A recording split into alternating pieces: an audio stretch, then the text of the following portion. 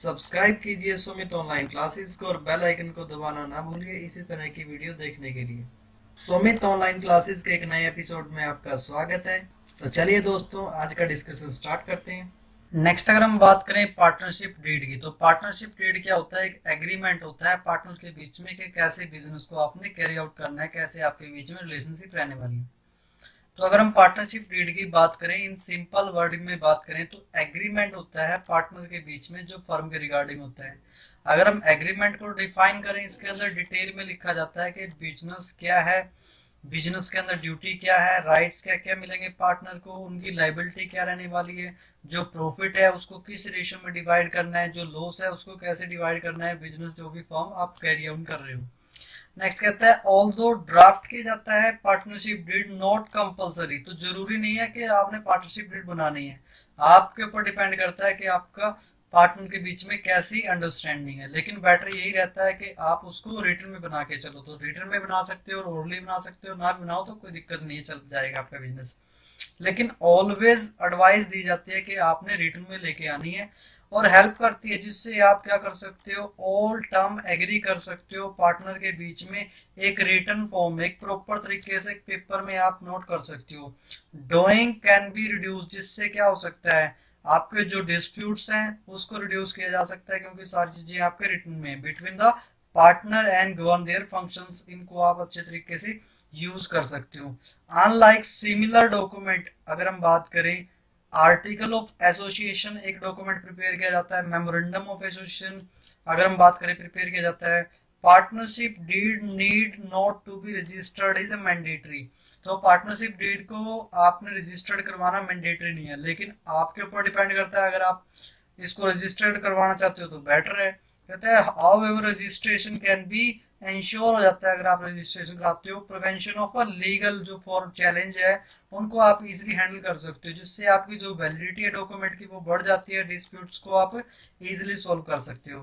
तो अगर हम आइडियल पार्टनरशिप डीड की बात करें तो comprehensive clear about the detail of partnership जो पर्टेनिंग जो भी फ़ंक्शंस बिज़नेस के द्वारा परफॉर्म किए जाएँगे, इनको एक डॉक्यूमेंट में प्रिपेयर किया जाता है, जिसको हम क्या बोलते हैं पार्टनरशिप डीड अगर बना लेते हो आप तो वहाँ पर आपके लिए इजी रहता है। अगर आप नहीं बनाते हो तो ये आपके लिए एक एम्बिगियस सिचुएशन बन जाती है, जहाँ पर सभी के बारे में, चीज़ों के बारे में कुछ भी डिसीज़न नहीं लिया जा सकता।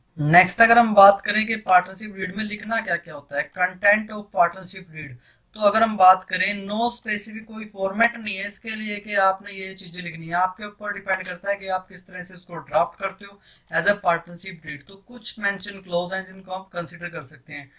बिज़नेस का जो नेम है, वो लिखते हो कि बिज़नेस के अंदर जो भी पार्टनर है, उनका क्या नाम है डिटेल क्या है, उनके एड्रेस क्या है, उनके द्वारा कितनी कैपिटल लगाई गई है बिज़नेस को कब स्टार्ट किया गया है बिज़नेस का जो ऑब्जेक्टिव क्या रहने वाला है कितने टाइम के लिए बिज़नेस को स्टार्ट किया गया है? कैपिटल कितनी लगाई गई है हर पार्टनर के द्वारा? प्रॉफिट है या लॉस है, वो किस रेशो में शेयर किया जाएगा? जो इन कैपिटल बिज़नेस के अंदर पार्टनर लगाएँगे, उनके ऊपर इंटरेस्ट पे किया जाएगा नहीं किया जाएगा? किया जाएगा तो कितने परसेंट से किया जाएगा? और बोराइंग की बात करें तो बोराइंग कितनी की जा सकती है पार्टनर से और उसके ऊपर कितना इंटरेस्ट दिया जा सकता है अगर कोई लोन लेना पड़े। कोई पार्टनर काम करता है तो उसको कितनी सैलरी मिलनी है, कितना कमीशन मिलना है, अगर देना है तो वो डेट के अंदर डिसाइड कर लिया जाता है। अगर हम बात करें एडमिशन और रिटायरमेंट के रिगार्डिंग क्या प्रोसीजर है, ये भी हम पहले डिसाइड कर लेते हैं। मेथड की बात करें, गुडविल हमने कैसे कैलकुलेट करनी है, सुपर प्रॉफिट मेथड से, एवरेज प्रॉफिट मेथड से, या और अलग मेथड से हम यूज़ कर सकते हैं। नेक्स्ट कहता है अकाउंट को किस तरह से हमने बिज़नेस के प्रिपेयर करना है, ये चीज़ें भी डिसाइड कर पाते हो कि जो अगर डिस्प्यूट्स होता है पार्टनर के बीच में, किस प्रकार से आपने उसको सेटल करना है, किस प्रकार से पार्टनर के बीच में आपने एग्रीमेंट को साइन करवाना है, कैसे नया पार्टनर ऐड हो सकता है, कैसे छोड़ के जा सकता है, ये सारी चीज़ें आप कहाँ डिसाइड कर लेते हो? पार्टनरशिप ट्रेड के अंदर डिसाइड कर लेते हो, ताकि आपका फ्यूचर में किसी भी रिगार्डिंग डिस्प्यूट ना हो।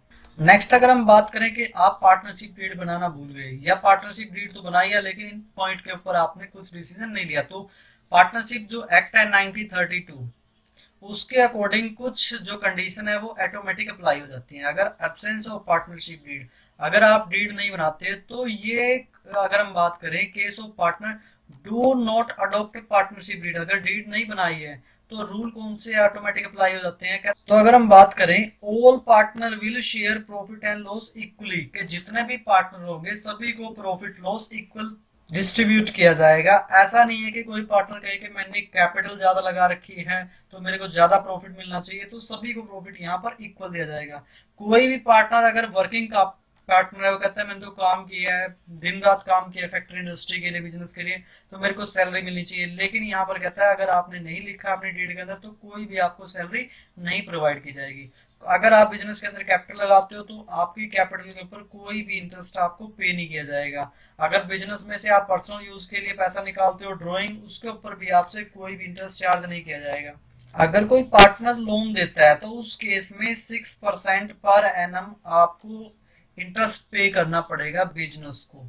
अगर आप एग्री कर लेते हो तो आप ज़्यादा भी पे कर सकते हो, जो आपने डीड में लिखा है। अगर डीड में नहीं लिखा तो सिक्स परसेंट पर एनम से आपको इंटरेस्ट देना पड़ेगा पार्टनर को। अगर हम बात करें पार्टनरशिप डीड से, हमारे को क्या क्या फ़ायदे होने वाले हैं? कहता है, इससे हम अवॉइड कर सकते हैं, जो फ्यूचर में डिस्प्यूट्स हो सकते हैं, झगड़े हो सकते हैं, उनसे बच सकते हैं। और इसको हम क्या ले सकते हैं? एज ए कोर्ट में एविडेंस एक प्रूफ की तरह से पेश कर सकते हैं। और इससे हमारे को फैसिलिटी रहती है कि बिज़नेस के फ़ंक्शन हमने कैसे परफॉर्म करने हैं, जिससे कि मिसअंडरस्टैंडिंग है जो, उसमें कमी आती है। मतलब आपस में अंडरस्टैंडिंग बनी रहती है। अगर हम बात करें राइट्स ऑफ़ पार्टनर के, कोई भी मालिक है पार्टनर है तो उसके पास क्या क्या राइट होते हैं?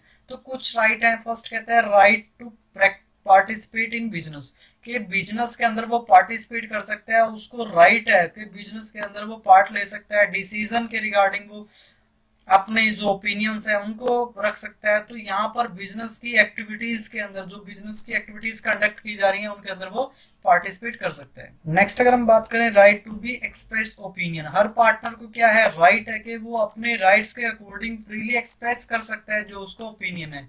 तो जो मेजोरिटी के द्वारा डिसीज़न लिए जाएँगे, वो ले सकते हैं। लेकिन हर पार्टनर को क्या है, ये राइट है कि वो डिसाइड कर सकता है, हर मैटर के बारे में अपना ओपिनियन रख सकता है। नेक्स्ट कहता है right to access book and account जो भी बुक्स एंड अकाउंट रखे हुए हैं बिज़नेस के द्वारा, उनको आप इंस्पेक्ट कर सकते हो चेक कर सकते हो, उनकी एक कॉपी भी डिमांड कर सकते हो। तो आपके लिए क्या रहता है, ये राइट रहता है कि आप चाहे एक्टिव पार्टनर हो, चाहे आप डोरमेंट पार्टनर हो, आप बुक्स हैं जितनी भी अकाउंट्स आपके बिज़नेस में प्रिपेयर किए गए हैं, उनको आप चेक कर सकते हैं। नेक्स्ट कहता है राइट टू शेयर प्रॉफिट कि पार्टनर क्या कर सकते हैं? जो भी बिज़नेस का प्रॉफिट हुआ है, उसको शेयर कर सकते हैं। अब वो डिस्क्राइब किसके अंदर किया गया वो डीड के अंदर, जिस प्रपोर्शन के अंदर डिसाइड किया गया, उसी प्रपोर्शन के अंदर आप प्रॉफिट शेयर कर सकते हो। तो लिखा है have share all partner firm अगर आपने डीड नहीं बनाई है तो यहाँ पर क्या रहता है, आपको इक्वली डिसाइड किया जाएगा, सभी को इक्वल डिस्ट्रीब्यूट किया जाएगा, अगर आपने कोई प्रॉफिट शेयरिंग रेशो फिक्स नहीं किया नेक्स्ट कहता है right to interest on capital and advances अगर कोई पार्टनर बिज़नेस के अंदर पैसा लगाता है कैपिटल लगाता है तो उसको इंटरेस्ट पाने का भी राइट है, अगर पार्टनरशिप डीड के अंदर लिखा है। अगर नहीं लिखा है तो कुछ नहीं उसको मिलेगा। मतलब इंटरेस्ट नहीं उसको पे किया जाएगा।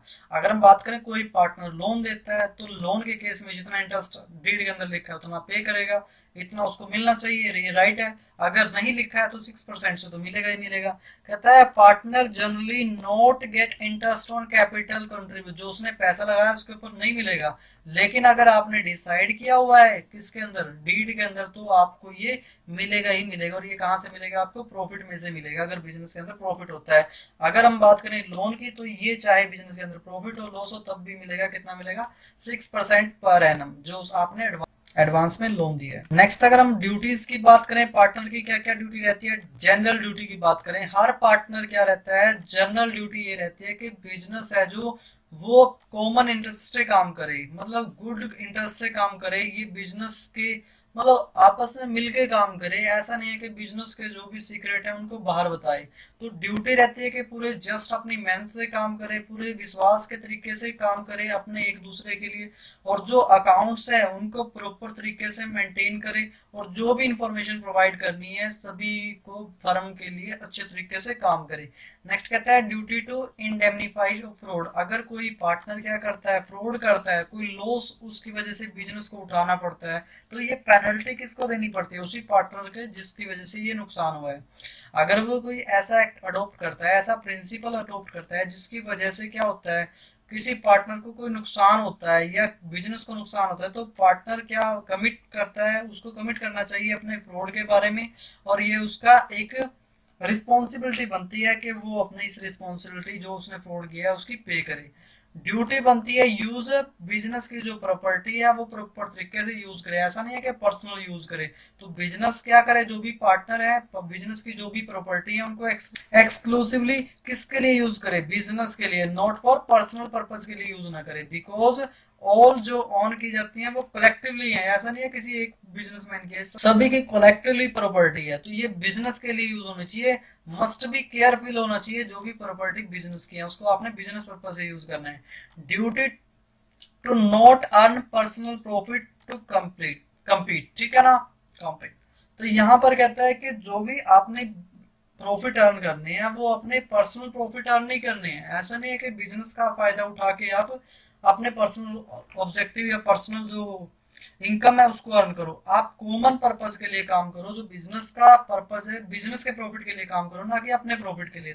तो हर पार्टनर क्या है? फ़ंक्शंस किसके लिए करे? अकॉर्डिंग टू कॉमन जो बिज़नेस का गोल है they should not personal profit के लिए काम ना करे। नॉट एंगेज एनी ऐसी एक्टिविटीज़ के अंदर काम ना करें जो अपना पर्सनल ऑब्जेक्टिव के लिए काम करे। तो उसको किस लिए काम करना चाहिए? जो बिज़नेस फर्म के जो प्रॉफिट है, उनको प्रेफरेंस देनी चाहिए, अपने पर्सनल जो ऑब्जेक्टिव उनको प्रेफरेंस ना देगी नेक्स्ट अगर हम बात करें effect on right and duty after the change in firm अगर फर्म के अंदर कोई चेंज होता है तो वहाँ पर जो राइट्स हैं या ड्यूटीज़ हैं, उनके अंदर किस प्रकार से चेंज आता है?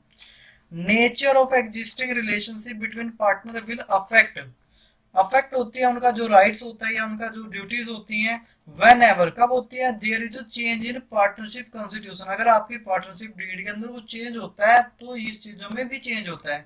किसमें चेंज होता है? या तो आपकी पार्टनरशिप है जो चेंज होती है, किसके कारण? या तो कोई पार्टनर नया आ जाए, या कोई पार्टनर छोड़ के चला जाए। या फिर क्या हो जाए? प्री डिटरमाइंड जो आपने ऑब्जेक्टिव सेट किया गया था फर्म का, वो कंप्लीट हो जाए। या फिर जो पीरियड आपने डिसाइड किया गया था कि दो साल चलेगा, पाँच साल चलेगा, और वो एक्सपायर हो जाए, तब भी आप क्या करोगे? आपकी जो ड्यूटीज़ हैं राइट है, उनके ऊपर इफ़ेक्ट पड़ेगा। कैरिंग आउट बिज़नेस एडिशनल अगर आप बिज़नेस यूनिट अंडरटेकिंग करना स्टार्ट कर देते हो, तब भी आपका जो पहले से एग्रीमेंट है, उसके ऊपर इफ़ेक्ट पड़ता है।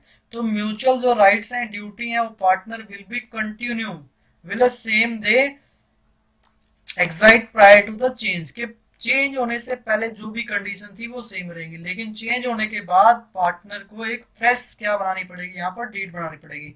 अगर पार्टनर क्या करते हैं, कुछ चेंज लेके आना चाहते हैं तो उसके बाद आपको क्या करना पड़ेगा? एक फ्रेश पार्टनरशिप डीड साइन करना पड़ेगा। उसी के बाद आप ड्यूटी या रिस्पॉन्सिबिलिटी को डिफाइन कर पाते हो राइट को डिफाइन कर पाओगे।